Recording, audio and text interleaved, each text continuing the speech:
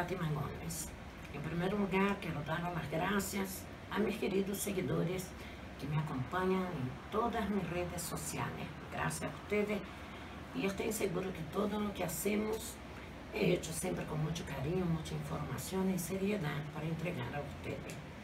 Hoy yo quiero hablar de un tema que considero muy importante, hablar de los chakras. Siempre hablamos de la abertura de los chakras, de los mantras y digamos cómo abrir los chakras. Yo hoy quiero dar la información de que son, qué tipo de problemas tenemos cuando los chakras no están abiertos o no están alineados. Porque para conocer la sanación tenemos que conocer primero las enfermedades o las consecuencias. ¿Qué son los chakras? Los chakras son vértices de energías que tenemos en nuestro cuerpo y que estas energías hacen funcionar todos los órganos y todas las energías de nuestro cuerpo. Cuando estas energías o estos vértices están bloqueados o están desalineados, generan consecuencias muchas veces serias en nuestra vida y como no sabemos, no tratamos de buscar, de investigar cuáles son las consecuencias, no trabajamos en la abertura o sanación o la alienación de los chakras. Los chakras son varios, pero en realidad lo que trabajamos, los más importantes, son siete. El primero está en la base del cuerpo, cerca del anus, y es obviamente el chakra principal que tenemos que trabajar. Porque el primero, para que todo dé una secuencia, tenemos que empezar del primer chakra, que está cerca del anus y de las regiones sexuales. Este chakra nos comunica con la tierra, con todo lo que es materia y todo lo que es material. Cuando este chakra está cerrado o no está alineado, empezamos a tener muchas dificultades en la área principalmente económica, que como yo dije, es el chakra que está más cerca de la tierra. La tierra representa la abundancia, la prosperidad, el crecimiento. Entonces, cuando este primer chakra está cerrado, obviamente que tenemos muchas deudas, dificultades en establecer a nivel económico. ¿Por qué? Porque el chakra no está abierto.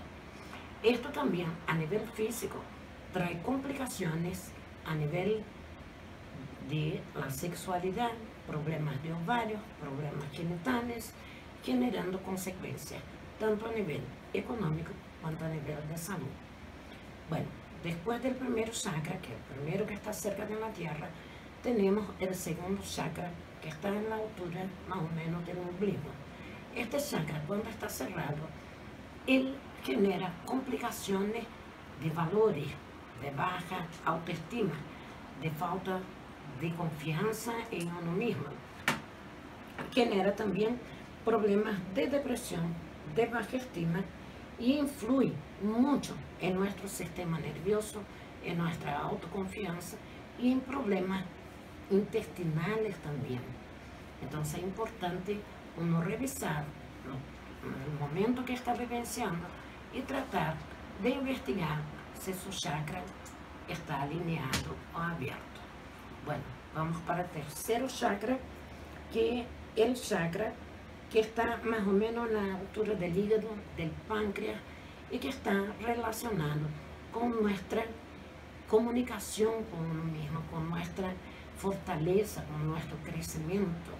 Cuando este chakra está cerrado, uno tiene mucho desánimo, mucha falta de ánimo, mucha depresión, mucha angustia, porque no consigue comunicarse, expresarse y desarrollar lo que viene anteriormente de su parte económica, de su parte sexual, de su parte de autoestima. Entonces, obviamente que va generando una consecuencia. Y esto a nivel físico trae problemas de páncreas, de estómago, del hígado. Entonces, ustedes pueden ir determinando los problemas que tienen y entender si su chakra está abierto o cerrado. Bueno, Vamos al cuarto chakra que está en la altura del corazón.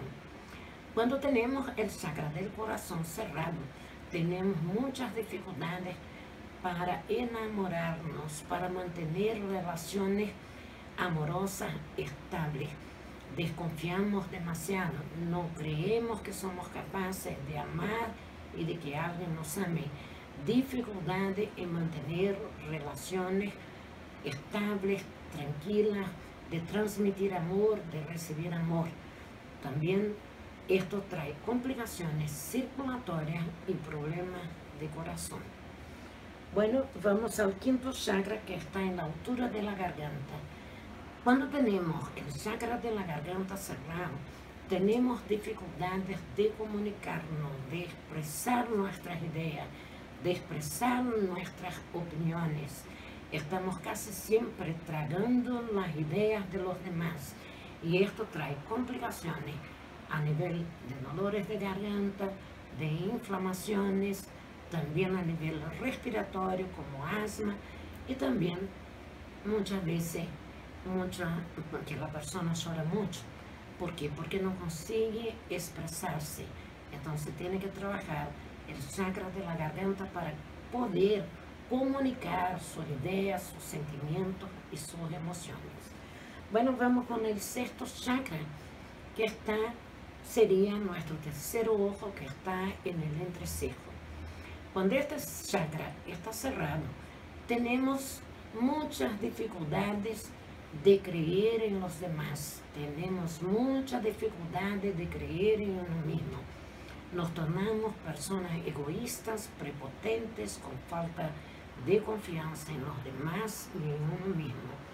Y esto puede traer problemas de dolores de cabeza, dolores en la visión, dificultades en la visión, incluso a temprana edad.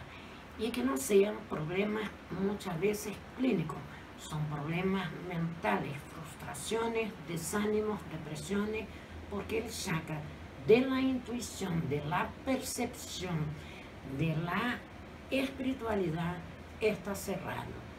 Bueno, y vamos con el séptimo chakra, que es el que se encuentra en la coronilla, que es el chakra de la comunicación con Dios, con el universo, con las fuerzas superiores, que nos hace sentir espirituales, que hace que nuestra fe sea algo perseverante, constante.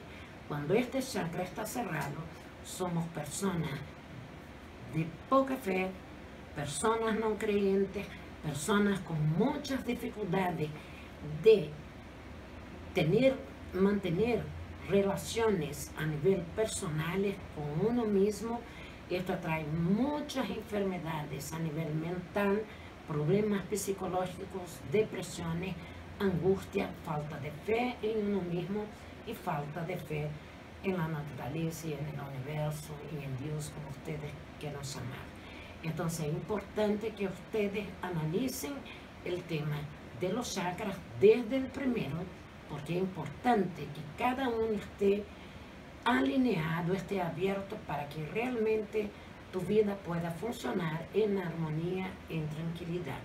Y investigar, que vamos a estar hablando del tema, enseñando cómo abrir los chakras, pero es importante que tú detectes los problemas que traen cuando los chakras no están alineados. Bueno, espero que te tenga gustado, espero que nos sigan acompañando y que vea el tema profundamente con relación a ti mismo y los problemas que tienes. Gracias, bendiciones.